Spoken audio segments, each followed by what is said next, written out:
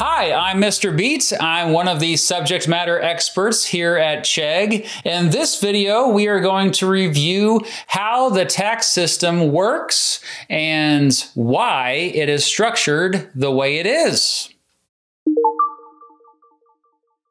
First of all, what is a tax? A tax is a payment to the government that the government forces an individual or group to pay to cover administrative costs and public goods and services. A tax system encompasses the full scope of tax transfers between governments and taxpayers, including the taxes collected and the social welfare payments a government may disperse. A tax system is usually evaluated on four dimensions. Its efficiency, its equity, its transparency, and its convenience. We are going to look at each of these in more detail. Efficiency refers to a government's ability to collect all the resources it needs while not disrupting competitive markets and reducing administrative costs. Some types of taxes, like income taxes, can be distortionary because by affecting workers' earnings, they may dampen their incentive to work, with consequences for the whole labor market. Still, taxation should be fair.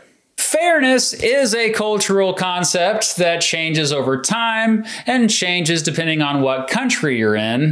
But generally speaking, a fair taxation is one that respects a taxpayer's ability to pay and where the distribution of state generated benefits is perceived as just. For instance, a proportional tax to sponsor early education makes sense because generally everybody benefits from public education. But the same tax may fare poorly on the same equity dimension if it is used to sponsor the university education system, as children from high income families are more likely, on average, to attend universities. A tax system is transparent if a taxpayer can predict what they will need to pay the government. In other words, taxes should not be volatile. And finally, Taxes should be easy to pay. You can probably guess that there's an important follow up to this discussion. Uh, the tax system cannot perform brilliantly on all these dimensions equally. There will be some trade offs in any design of a tax system. For example, a proportional tax in which everybody pays, let's say, 10% of their income to the government is more convenient and easier to compute than a progressive tax, where tax rates increase with the income of the taxpayer. However, it likely won't do well on the equity dimension because that 10% decrease in earnings likely affects the low income earners a lot more than the high income earners. Similarly, inheritance taxes are less distortionary and therefore more efficient than income taxes, but they are often considered unfair because they are a tax burden on assets that are previously taxed, like savings. Taxes can be imposed on multiple assets. The most common type of tax is an income tax, which is a tax on individual earnings. However, many other things can be taxed as well. There are property taxes, like the taxes paid on houses, car registrations, financial assets, and so on. Economic transactions can also be taxed. You pay a value added tax every time you go to the store in proportion to the value of what you purchased. Imports and exports can be subject to duties. And finally, there are taxes on negative externalities, such as a tax on a product that can damage your health, or taxes on stuff that hurts the environment. Taxes on cigarettes, alcohol, and carbon are all examples. However, a crucial difference here is that these taxes are not meant to raise revenue, but instead discourage bad behavior. Taxes can further be placed into four bins lump sum, proportional, progressive, and regressive. Let's look at all of them in more detail.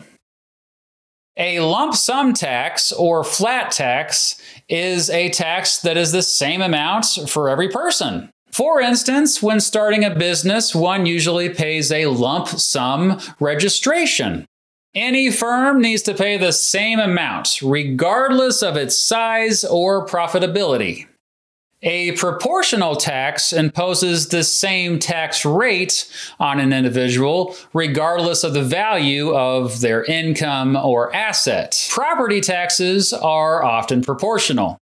If, for instance, the tax rate is 2%, everybody pays the same in proportion to the value of their house, independent of the individual income or the value of the house itself. A progressive tax, however, imposes a higher tax rate on higher income earners than it does lower income earners. The opposite of a progressive tax is a regressive tax, in which the tax burden is higher on lower income earners versus higher income earners. Regressive tax rates clearly don't fare as well in terms of equity. This is why progressive taxes are usually preferred. Nevertheless, most tax systems contain regressive elements. Value added taxes can have regressive effects.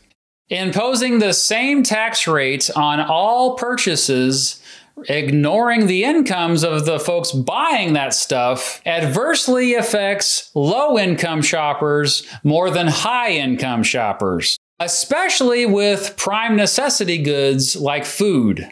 In essence, a person with lower income is paying more for their loaf of bread than a person with a higher income. This is hardly fair, but it would be logistically difficult to continuously compute a fair value added tax. This is the equity convenience trade off at play.